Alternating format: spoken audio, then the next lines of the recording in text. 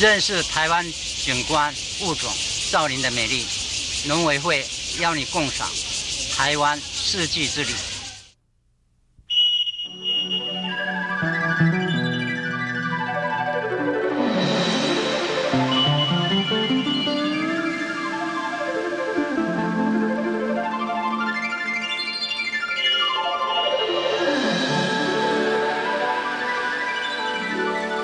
每年清明节有鹰成群，自南而北，至大甲溪畔铁砧山，巨窟挤哀，彰化人谓之南鹿鹰。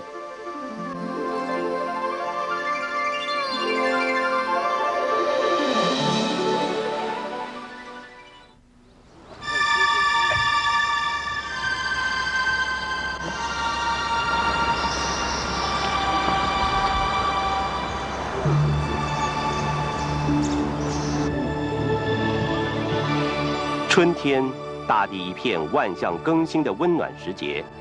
彰化的八卦山，一群远渡重洋而来的朋友，把天空点缀得分外迷人。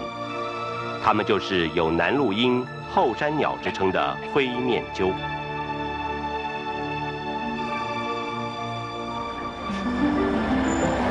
我们常说“有朋自远方来，不亦乐乎”。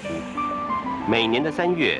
彰化的八卦山便会举办一年一度的赏樱盛会，来迎接这些远道而来的教客，同时也让更多人能欣赏到他们遨游天际的英姿。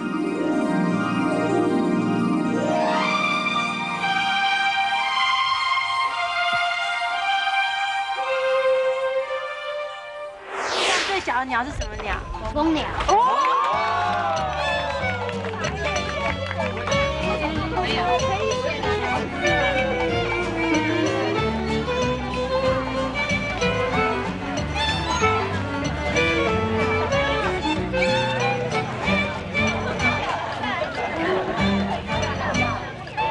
在我们彰化地区哈，这个蓝鹭鸢以前过境数量就很多。那以前我们从来没有说来利用这，我们没有办理这个活动，很多人也不知道什么叫蓝鹭鸢。那我们八十一年彰化鸟会成立以后呢，那我们鸟会就透过诶，就跟很多学校、团体或是政府机关来办理这个营养八卦活动，主要是透过这个活动，我们让民众了解我们彰化也有这么漂亮的猛禽，也有这这么多的猛禽过境这个彰化。那最近几年来呢，我们每年这个营养八卦的活动都吸引数以万计人参加。每年从三月到四月初，哦，我们这个现在已经成为彰化地区独特的生态文化活动。灰面狂鹰它是一种依季节性迁移的一种鸟类哦。那它在三月份的时候会经由菲律宾渡过巴士海峡，沿着台湾本岛，然后再往大陆方向飞，那一路飞回台那个大陆跟以及日本那一带。他们开始进行繁殖的行为，那繁殖完毕之后，大概九月份会开始南下，准备要渡冬。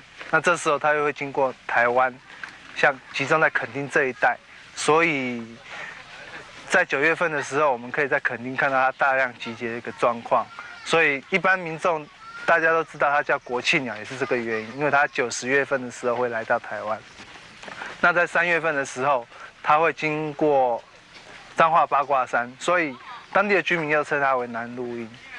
那在过境的时候，其实它会以当地的一些蜥蜴、鸟类或者是一些鼠、老鼠为食物，所以对当地的生态来说，也具有一个很大的平衡作用。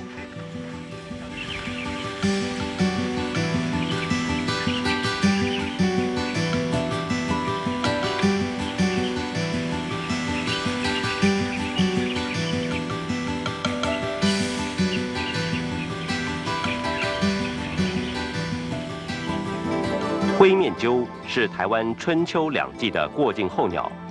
每年的十月十日前后，当恒春一带吹起落山风的时候，就是它们抵达恒春半岛的时刻。下午三四点钟成群盘旋，直到黄昏才降落在满洲乡栖息。春季北返则在三月十五日以后，七地则选择在中部八卦山台地和大肚山台地的树林里，过境时间往往持续到三月底或四月初。这边这个就是所谓的过境鸟，过境鸟就是说它的栖息地不能在这边，它是说它从这边这边南下南下北上，所以叫做过境鸟哈。所以等一下这边你们会在八卦山看到这四种，啊，然后这三种就是我们在这边大概一年四季都看得到，一年四季都看得到的地方。而以这只为最大，这是最大只啊，然后它它的飞行都要以滑翔、以热气流上升为主，就是因为它大型猛禽在振翅的时候它非常耗力，因为它体型太大了，所以它振翅非常耗力，而不是像这种这种是最小只，所以像它这三只的话，它都都会有振翅现象就是它在飞的时候，它就是以振翅在飞，像类似鸽子啊、麻雀那种，飞飞飞飞很快，然后它们频率没有那么高，所以就所谓大型猛禽要靠气流，就是它们像这种的时候，它这边到的时候就类似说，他们会在找方向，在这个八卦山这边，它会找方向，找一个方向说它要往北返，就找方向。嗯，就像刚刚所说的，它 大概都是沿着大陆沿岸来飞行，所以一路如果它是南下的话，它会从日本经过琉球群岛，然后台湾，然后在菲律宾，最后会可能会到达马来西亚或中南半岛这一带。那春天北返的时候呢，它会沿着反方向的顺序，也就是菲律宾、台湾、大陆沿线或者是琉球群岛，然后再回到日本的繁殖区。那这大概是它一条迁徙的主要路线。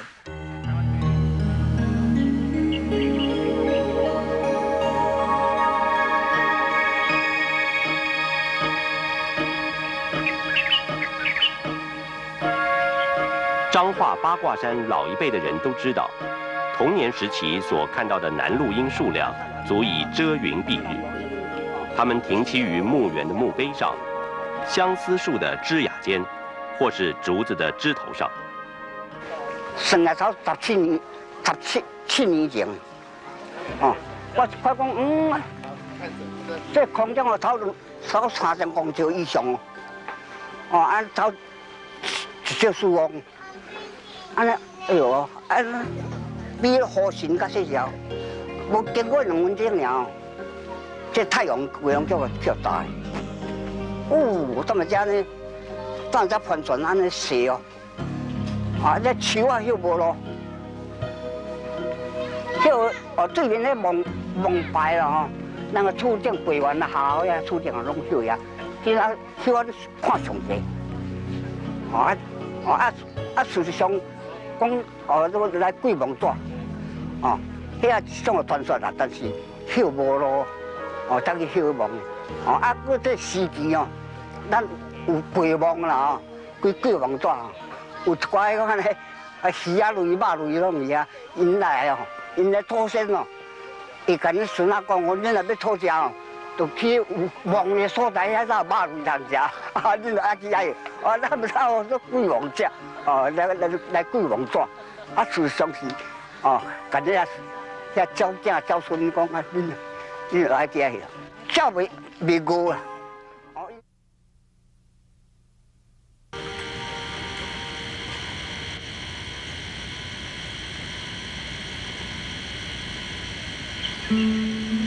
虽然灰面鸠是属于猛禽类，它的个性却是非常的温和机警。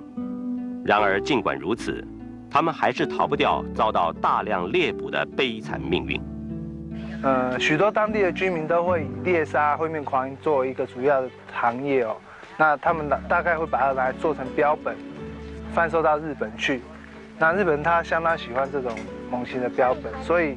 早期有个谚语叫做“南陆鹰起盘西高迁”，也就是说，当地居民在这个地方采集的南陆鹰，大概会达到总数的十分之九左右。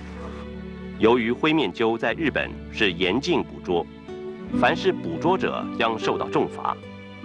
但是东洋人酷爱灰面鸠的标本，于是他们就来到台湾，高价大量收购标本。当时八卦山及满洲乡的居民在高价利诱之下，四处立起鹰角塔，大量捕杀灰面鸠。根据当地居民表示，当时一个人在一个晚上可以打死将近两百只的灰面鸠。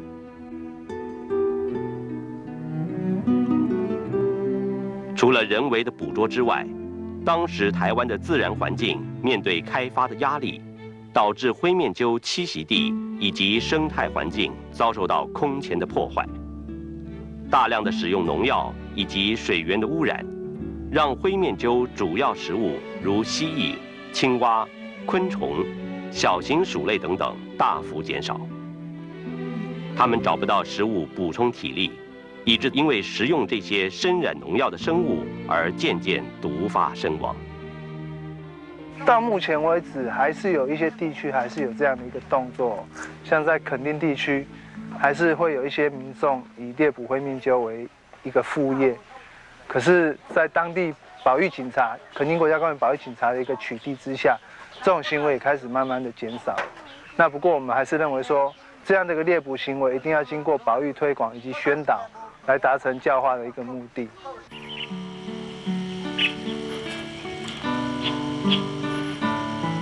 在满洲的部分平埔族当中，相传他们的祖先是来自吕宋岛，在一次出海当中遇到台风而漂流到台湾，从此便在这一片土地中建立家园。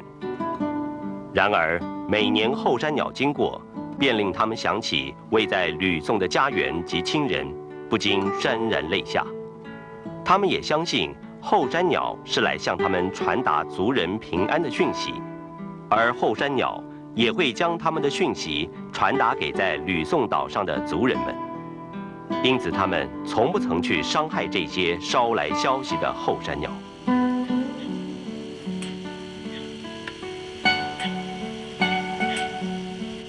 然而，当时的平埔族人毕竟只是他们悲惨命运的少数守卫者，也因此，灰面鸠的数量一年又一年的大量减少。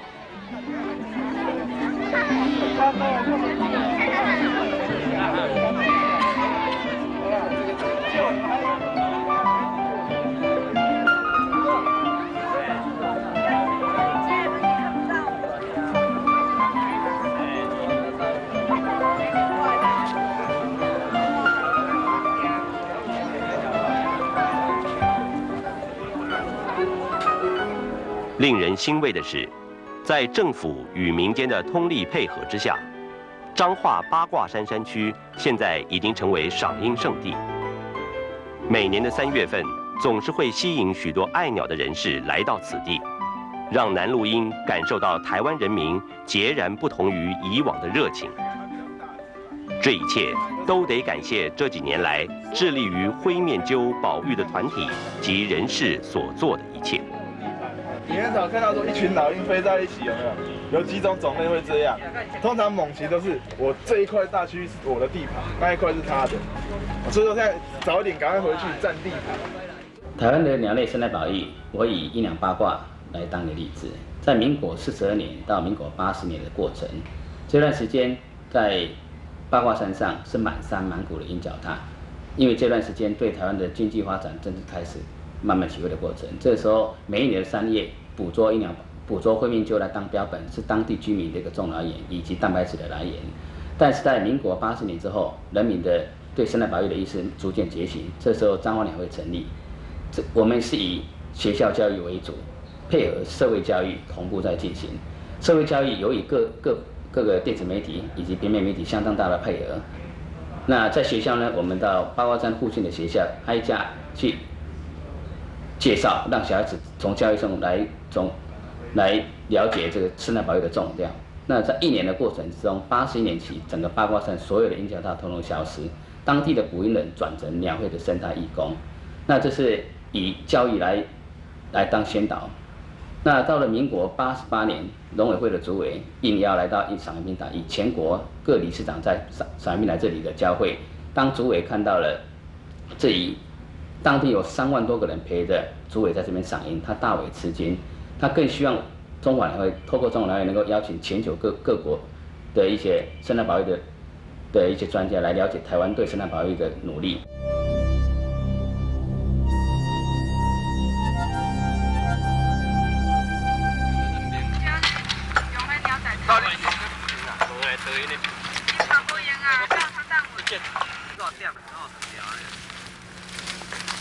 幸好在他们的奔走之下，灰面鸠的数量已经不再逐年减少了。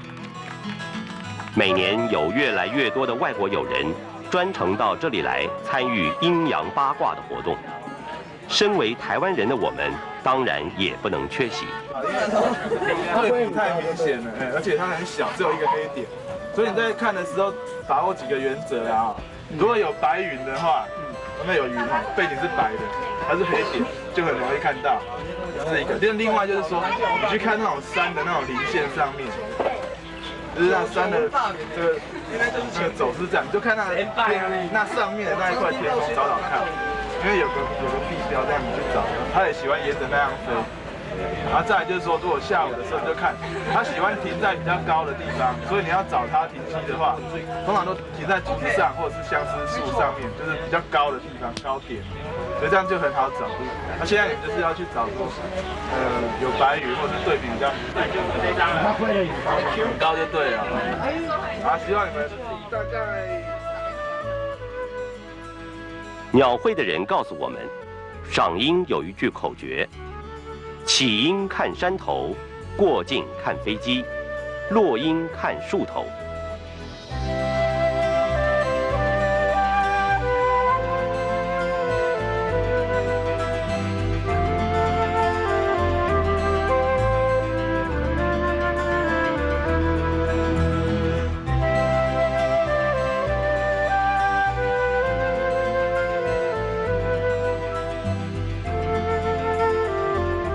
来到八卦山头的灰面鸠，一开始是呈纵队飞行，到平台上空附近转为龙卷风式盘旋，之后再有如飞箭般咻的一下飞落到枝头上，他们称之为落鹰。据说运气好的话，还可以看到上百只落鹰的壮观画面。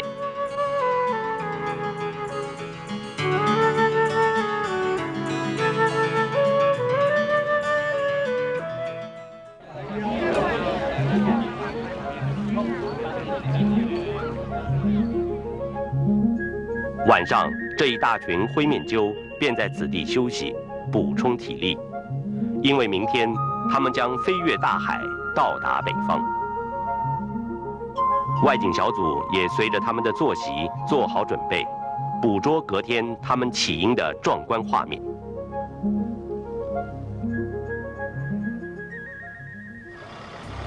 在太阳出来之后，热气流上升时，是起鹰的最佳时间。因此，尽管睡意正浓，我们仍然起了个大早，来到赏樱平台，等待着他们起鹰时刻的到来。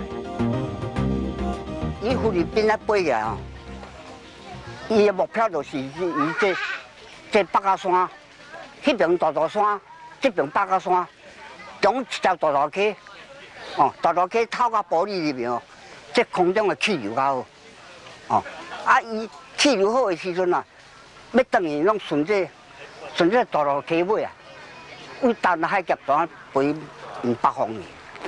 哦，啊有那气流较歹，咱这气流好来讲，去较单头，拄着遐遐气流较歹，有风雨伊就搁飞倒转来来休一下。伊时阵伊是用一只，伊迄逐年来哦，一只迄带头的哦，会顺着气流啊，一直飞哦。伊咧西就是。气的身躯，哦，在空中的这气流哦，伊身躯动不了。哦，那像我那咧，那通个风水哦，那有有个有个这时阵哦，这洪水有咧气油啊，阿伯就等遐咱咧啊，伊到遐啊，改啊通知啊，规阵就等遐，等遐一直盘旋，盘旋了了后，当规阵再当不，因咧飞啊，是啊，免安尼现的现的现的，我不飞啊。在日出的陪伴下，会先有一两只南鹭鹰先飞上山头竹枝上整理羽毛，待太阳出来，热气流上升即起鹰。随后陆续会有南鹭鹰跟随着先前的南鹭鹰，沿着山谷林线渐次盘升，鹰群再度以龙卷风式盘至一定高度，再一只只排列成纵队往北返回它们的繁殖地。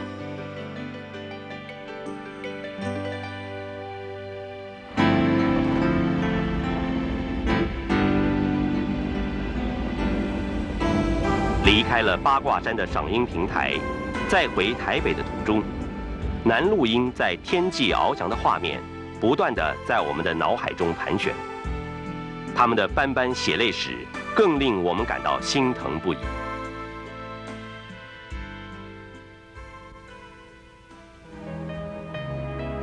近几年，经彰化县野鸟学会调查，南鹭鹰每年飞经八卦山的数量已经不再剧减。